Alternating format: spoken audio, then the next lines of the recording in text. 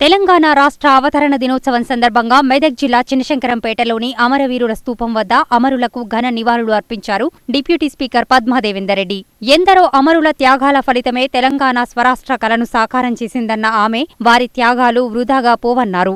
అమరులు కోరుకున్న బంగారు తెలంగాణ సాధనే లక్ష్యంగా టీఆర్ఎస్ ప్రభుత్వం ముందుకు సాగుతుందన్నారు.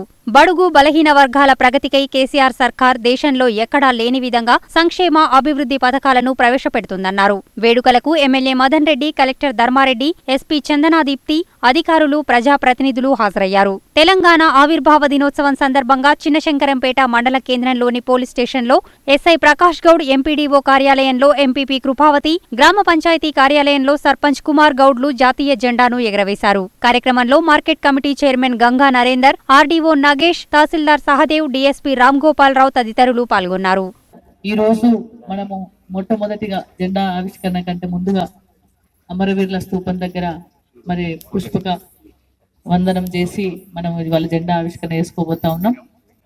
మరి ఇప్పటికే అమరవీరులను కూడా ఆదుకోవడం జరిగింది.